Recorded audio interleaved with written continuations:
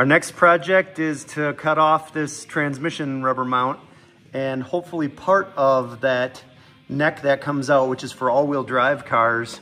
So we're gonna chop this off and then what I'm gonna do is put my scope in there and make sure that that other part is hollow. And if it is, I'm gonna chop off as much of that as I can as well. Show you when we're done. Here we go, partway done. Made a cut right here with a little disc cut there, cut back here, popped it off, pull that off, and we're part way to cutting off this whole end. Now I can just hit this with a little flat disc and clean it up a little bit, and I can hopefully trim this down flat, kind of right with that seam right there is what I'm hoping. That's the plan. Drilled two little pilot holes in the top here so I could put my scope camera down in there. I had drilled one in the center to begin with, and I couldn't quite figure out the depth of a bearing in here by looking through the camera.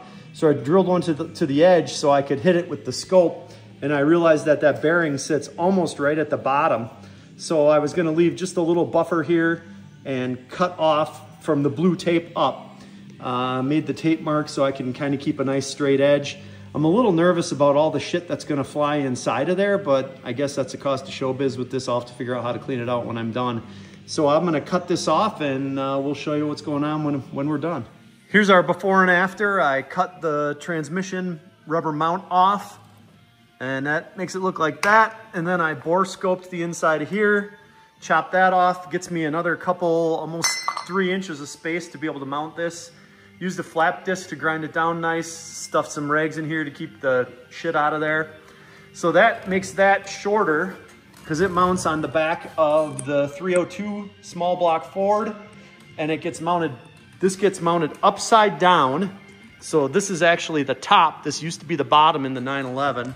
Gets mounted upside down and then mounted right in here. So 302, transaxle on the back, slips right in there. Your drive shafts come out at each side. There it is, chopped off.